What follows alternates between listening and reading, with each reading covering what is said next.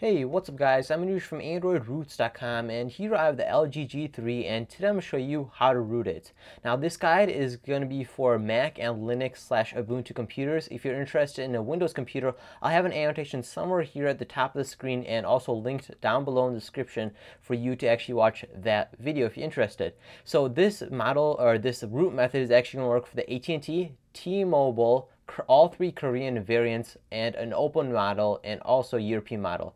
Um, I'll have all the specific model names and specifics down below, but if you're not too sure which model number and model and all that stuff, uh, which one you have, go into settings, then go into general, go all the way down to about phone, and here and then go ahead and tap on software and then here you'll be able to see um, your build number. So mine ends in 0c so that's the t-mobile variant. Um, like i said earlier the text for each build number what version what variant it is will be linked down below so mine's 0C, so mine's a T-Mobile variant, so I'm good to go on rooting my device, but yours will be a little bit different maybe, depending on what variant you have, but that'll be all right as long as, as it is supported.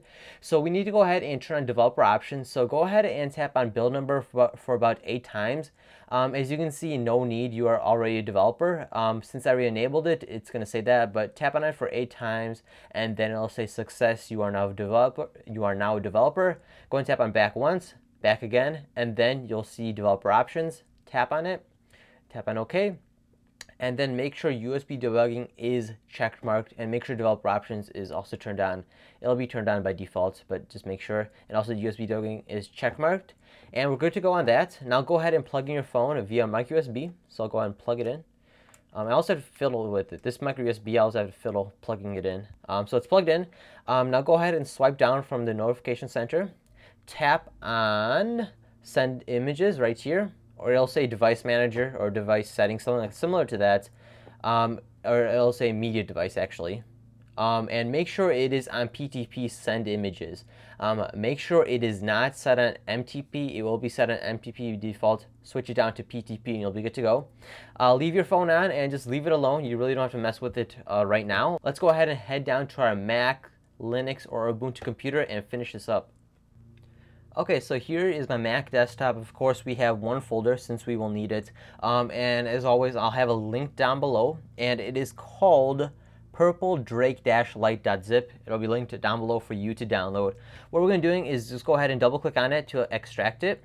And like I said earlier, um, this video is compatible with both Mac, Linux, and Ubuntu users.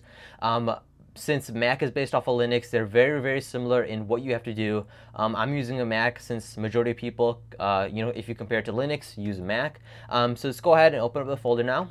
Um, and you have two files um, depending on if you're a Mac or a Linux user. Um, so .sh is for you Ubuntu slash Linux users, while dot .command is for you Mac users.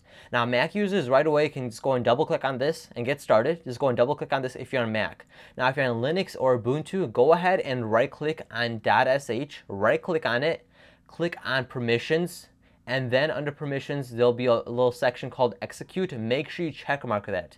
After you check mark it, um, you can double click on the actual file and click on terminal. Um, it's only a five second detour. Um, after that, is everything else is exactly the same. If you're still confused about what I said, if you're on Linux or Ubuntu, I'll have it linked down below for more details.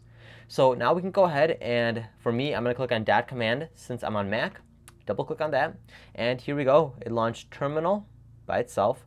Um, let me go ahead and actually move this a little bit over. Okay, so we're gonna go ahead and press enter. Um, the text just says make sure you USB debugging on, yada, yada, yada. We already did that already.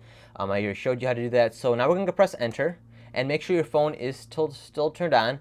And as you can see on my LG G3 screen, it says allow USB debugging. Of course we want to, so tap on OK.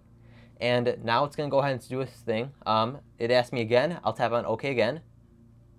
And now it says waiting for device, and it actually went ahead now. Um, so as you can see, it is actually going now. Um, says waiting for device. It said it detected it. It'll give you the model number and what version it's on, or you know what carrier it's on. Mine is TMO for T-Mobile.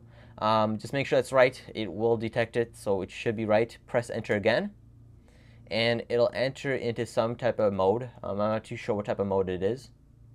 So just give it a quick sec. Okay, um, it'll do its thing now. So it says waiting for device. Let's give it a quick sec. Okay, it says, okay, so it says success. It's all good to go.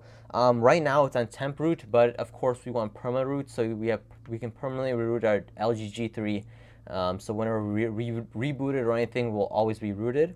So we're going to press enter again. It says applying perma root.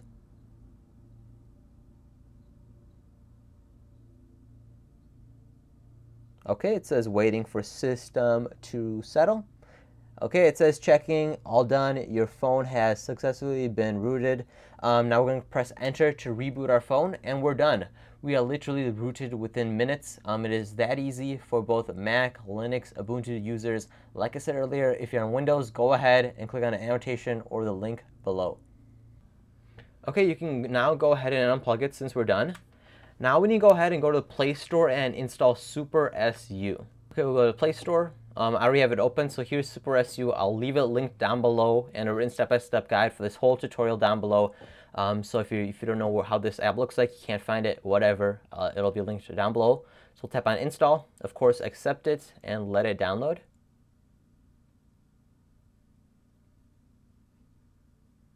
Okay, we'll go and open it up